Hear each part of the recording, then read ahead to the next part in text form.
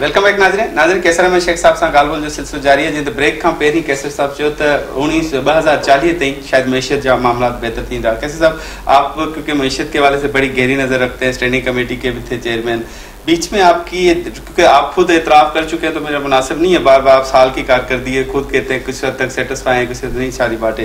लेकिन इस पूरे डेढ़ साल में दो वज़ीर ख़जाना आए। दो वज़ीर ख़जाना का सारा दारो मदार आपने कहा सियासत दाव पे लगा दी है पी एम एल एन ने। तो आप समझते हैं कि पी एम एल एन की जो सियासत दाव पे लगी वो मिफ्ता इस्माइल और इसाकडार की वजह से लगी? आपको याद होगा कि जब मिफ्ता इस्माइल बने तो मिफ्ता इस्माइल मेरे बहुत कराची के मेरे मेरे अज़ीज़ हैं उनकी फैमिली। मैंने उनके मैं जब प्रेसिडेंट था ना Karachi chamber of commerce industry का तो मैंने उनके भाई बड़े भाई को मकसूद इसमाइल को टिकट दिया था इलेक्शन लड़ने के लिए। मेरे टिकट पर उन्होंने इलेक्शन लड़ा। अच्छा। वो बिज़नेस कम्युनिटी का इलेक्शन भी लूज़ कर दिया उन्होंने कराची चैम्बर का। मिफ्ता इसमाइल ने दो इलेक्शन लड़े लूज जब तक आपका वज़ीर ख़जाना आपका आपके नेशनल असम्बली का मेंबर नहीं होगा जो कि जवाब दे हो आपके नुमाइंदों को। आप नहीं मैं मैंने मिफ्ता इसमाइल जी सेनेटर भी मैं कहता हूँ आवाम का डायरेक्टली बनना चाहिए। अच्छा, जैसे वज़ीर आज़म बनता है हाँ, जैसे कोई भी एम एन ए जो उसकी वजह क्या है कि एम एन ए को वो अप्रोचेबल होता है। हम्म। ये फाइनेंस जो है ना ये हर एक के मसाइल हैं। तो इस पार्टी के पास काबिल बंदे नहीं थे ऐसे कोई एमएनए जो वज़ीर खजाना ये मैं ये कह रहा हूँ हम सब पार्टियों को काबिल बंदे इलेक्ट कराने चाहिए। अगर आपका बंदा इलेक्ट ही नहीं हो सकता अगर हफीज शेख साहब को बार बार हर पार्टी ने मुशरफ तो शौकत तरीन की तरह इलेक्ट करवा के फिर वजी आज़म जिसे उन्होंने बनाया इलेक्ट कराया ना। इलेक्ट हाँ। करवाएँ बेशक करवाएँ पार्टियाँ करवाएँ अगर पार्टियों का ज़ोर है मुझे कोई इतराज नहीं होगा। लेकिन वो नुमाइंदा होना चाहिए लोगों का। ये आप तीस साल से धक्के हम खाते हैं। हम्म। आप बना किसी को उठा के फाइनेंस मिनिस्टर बना देते हैं वो किसी को मिलता ही नहीं है। हम्म। तो मुल्क आपका कहाँ तरक्की करे? जैसे मैं कह रहा हूँ उन्होंने आप पे सियासत खराब कर दी दो से वज़ीर खजाना ने ये आप तस्लीम करते हैं। मैं मैं तस्लीम करता हूँ। मैं तो सबका मैं कह रहा हूँ जब तक नेशनल असम्बली का मेंबर वज़ीर ख़जाना नहीं बनेगा होना ही चाहिए। जिस तरह वज़ीर आज़म आप उठा के बाहर से ले जाए क्या मजबूरी हो सकती है आपके ख्याल में? क्यों ऐसे करते हैं? मजबूरी एक हर को ले आते हैं ये बड़ा ये बड़ा अच्छा सवाल ये जो बड़ा अच्छा सवाल है। यहाँ हमारे यहाँ आई एम एफ़ बनाती है। हम्म। यहाँ हमारे यहाँ जो लीडर्स हैं वो अपने मतलब का बंदा बनाना चाहते हैं। ये मजबूरी है। वो अपने हाथ में रखना चाहते हैं हर चीज़। अच्छा वो आईएमएफ रखना चाहता है या दोनों आईएमएफ भी और जो जो लीडर हैं अच्छा। वो भी। हमारी पार्टी में दो चार लीडर्स की चलती है ना हर पार्टी में। तीन पार्टियाँ बड़ी पार्टी हैं। हाँ। आप देख लीजिए क्या हुआ क्या जमहूरी नहीं जमहूरियत नहीं है पार्टी? नाम ही नहीं है जमहूरियत का किसी पार्टी में। अच्छा। जब सवा साल में हमारी कोई एक पार्लिमानी पार्टी की मीटिंग नहीं हुई सिर्फ़ वो चार छः आठ दस बंदे बहुत काबिल होंगे बहुत काबिल हैं। लेकिन ये जमहूरी क्या चीज़ जमहूरी है इसमें। आपकी इलेक्शन ही किसी पार्टी का इलेक्शन नहीं होता हर पार्टी में वही लीडर हैं उनके बच्चे आ जाएँगे लीडर हो जाएँगे किस तरह नीचे से लीडरशिप चेंज होती रहे मेरे हिसाब में जो लोग चाहें जो मशवरे होने चाहिए और लोग चाहें जो चाहे वही आए बेशक उनके बच्चे आए। चेयरमैन ना रहे मैं मैं रहे। कहता हूँ अगर लोग उनको इलेक्ट कर रहे हैं इलेक्शन कराएँ बेशक रहे। हम्म। मुझे उनके रहने में कोई इतराज नहीं किसी के भी। लेकिन ख्वाहिश तो ज़ाहिर कर रहे हैं इलेक्शन होना चाहिए पार्टी इलेक्शन होना है बिल्कुल। मैं ख्वाहिश क्या मेरा मैं स्ट्रेस कर रहा हूँ। चाहे उसमें केसर साहब सदर पार्टी के बन जाए अगर मैं बन नहीं सकता तो मैं यहाँ क्या करने आता हूँ? मैं क्या झाड़ू देने आना हूँ? ये करना क्या है मुझे सिर्फ़? ये कोई काम ये नहीं है। हो रही है पार्टी है जी? ये ज़्यादा हो हर पार्टी में यही है आप आप आपकी कोई जमहूरी पार्टियाँ थोड़ी है।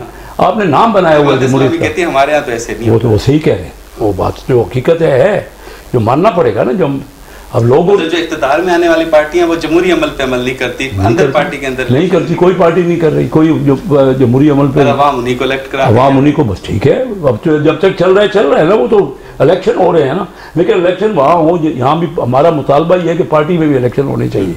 कि बाकी तो अवाम अगर यही चाह रही है तो अवाम की मर्ज़ी है। हमारे सब कॉन्टिनेंट में यही चल रहा है मोरूसी इंडिया में भी होता रहा हाँ। बांग्लादेश में भी हुआ।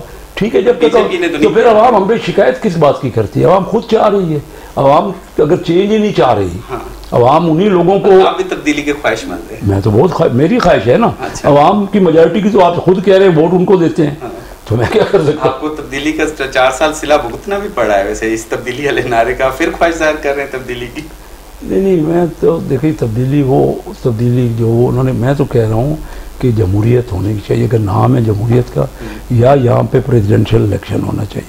या इस, ये जो एम एन है ना, जिस तरह जो कि, जो कोई है, हम परफॉर्म नहीं कर सके। ये जो जमहूरी निज़ाम पंद्रह साल का, ये डिलीवर नहीं कर सका। और अंदर भी असम्बली में भी आप देखते हैं, जब तक आपके पार्टियों की अपने मीटिंग्स नहीं होंगी आप में कंसेंसस नहीं बनेगा। तो हमारा तो कोई जो बिल आता है फ़र्ज़ की जो बिल भी आए। हाँ। मैं ना भी चाहूँ तो मैं क्या कर सकता हूँ? हाँ। मेरे पास ये इसने कानून बना हुआ है कि मैं उसकी मुखालफत करूँगा तो मेंबर भी नहीं रहूँगा। मेरे पास क्या है? मैं एक चीज़ को पसंद नहीं करता। मैं एम नहीं बन गया पसंद नहीं। मेरे लीडर चार छः लीडरों ने फैसला कर दिया। बगैर पार्टी की मीटिंग किए हुए। मेरे पास क्या ऑप्शन है? मैं क्या करूँगा? अभी जो बिल आए हैं उसमें आपको एतमाद में नहीं लिया गया? किसी को, को ये आप मेरे आधे घंटे से मेरी बात क्या सुन रहे बिल की बात मैं हर बिल में कह रहा हूँ किसी एक बिल पे किसी को नहीं लिया गया। आप किस बिल की अच्छा बात? प्राइवेट डे भी तो होता है ना उसमें प्राइवेट डे में आप लोगों ने कौन कौन से बिल लेके आए हैं? प्राइवेट क्या में तो बहुत से बिल आते हैं कोई माने जाते हैं। हम असम्बली फाइनेंस कमेटी में पता नहीं क्या क्या लेके आए हैं। अच्छा। फाइनेंस कमेटी की आप कल तशरीफ़ लाइएगा। हम ये जो कुछ हुआ है जो कुछ ये मैं पिछले एक साल से एक ही बात कर रहा हूँ। कि 625 लोगों के नाम ही बता दें। 625 अमीर तरीन लोगों को इतना बड़ा अच्छा, नाम तक नहीं बताया गया नाम तक अभी तक मुझे तो आप चेयरमैन तो मैं चेयरमैन हमारी मेरी क्या कोई किसी जमहूरी आप उनके खिलाफ कार्रवाई भी नहीं कर सकते। मैं क्या करूँ उनके मैं जो क्या इतना। मैं यानी उनके अदालतों में जाऊँ खुद चेयरमैन हो किसके खिलाफ जाऊँ? बताइए। स्टेट बैंक के गवर्नर के खिलाफ जाऊँ? किसके खिलाफ जाऊँ? भाई इख्तियार कमेटी में बैठने अपने अपने वज़ीर खजाना के खिलाफ जाऊँगी अपने वज़ीर आज़म के इख्तियार कमेटी में बैठने का क्या फ़ायदा है बिल्कुल बेख्तियार हूँ। अब मैं रिजाइन कर देता हूँ तब क्या फ़ायदा होगा? क्या फ़ायदा? मैं नहीं नहीं आप कह रहे वाकई बेख्तियार है। मेरे पास ऑप्शन था कि ना बनूं। या बे ना बनने से क्या मुल्क को फ़ायदा हो जाता? कोई और आ जाता उसने वही बात करनी थी। मैं कम अज कम बोल तो रहा हूँ ना। आपके सामने आ- बात आ- कर रहा हूँ। आखिर में एक चीज़ पूछूँगा ये जो कानून साजियाँ हुई हैं इसमें अंदर कोई अवाम के लिए कोई कानून साजी हुई? क्योंकि ये हुकूमत मैं हुकूमत का ज़िक्र ज़ोर करूँ ये कह रहे हैं अवामी कानून साजियाँ हुई इस हुकूमत ने कहा है वज़ीर इतलात ने तो हर हुकूमत कहती है जो कानून बना बताएँ हुई है अवाम की भाई उसमें आवाम की बातें भी थी ये तो नहीं कि बिल्कुल नहीं हुई है। महँगाई तो कंट्रोल करने के लिए कानून साजी हुई महँगाई के लिए बिल्कुल कानून साजी ज़रूर हुई है। महँगाई के लिए हम आईएमएफ के पास जो गए हैं जो उन्होंने हमें कंडीशनलिटी लगाई है ये बहुत बड़ा स्टेप था। आज देख रहे हैं आप कि अब जो भी इंटरनेशनल प्राइस है ना लेकिन हम ये कर रहे हैं हमारी कोशिश है आईटी की तरफ़ हमने ज़ोर दिए है हमने एस एम ईज को लोन देने का दोस्त को सजा की कानून साजी लोन मैं आपको थोड़ा सा मुझे मौका देना आप बात कर रहे हैं। जो आवाम की बातें थी ना हम इस बजट में हमने एस एम ईज को ज़्यादा कर्जे देने की कार्रवाई की है। इस बजट में मैं भी किसी चंद मीटिंगों में शामिल रहा हूँ मुझे भी रखा ह- हम- हमने ये आईटी के ऊपर सबसे ज़्यादा किया है कि आईटी की तालीम में ज़ोर दिया जाए। हमने ये कहा है कि एग्रीकल्चर में जितने भी ट्यूबवेल थे उसको सोलर के लिए हम कर्जे देंगे। जो आवाम की बातें आप पूछ रहे हैं। तो ये चीज़ें हमने आवाम के लिए की हैं और ये इस, इस बजट में हुआ है। हमने जो ये बेनज़ीर इनकम सपोर्ट का और बहुत बड़ा है बहुत ज़्यादा। तो ये अवामी बातें जो हुई हैं। अच्छा। तो हुआ है अवामी थे कानून बने। लेकिन अवाम कहती है ना हमारे महँगाई बढ़ गई उसके लिए कानून साजी नहीं हुई। जखीरा अंदोज को सजा देने की कानून साजी नहीं हुई। टैक्स की कमी की कानून साजी नहीं हुई। तखीरा अंदोज के लिए सजाएँ तो मौजूद है अमल नहीं होता। हमारा जो ब्यूरोक्रेट है ना हमारा ब्यूरोक्रेट सब महँगाई कैसे ना हो जितने तुम्हारे तो आप कहते हो तो पॉलिटिशियंस को रहते हो। एफ़ बी आर में मैं चालीस साल से कह रहा हूँ।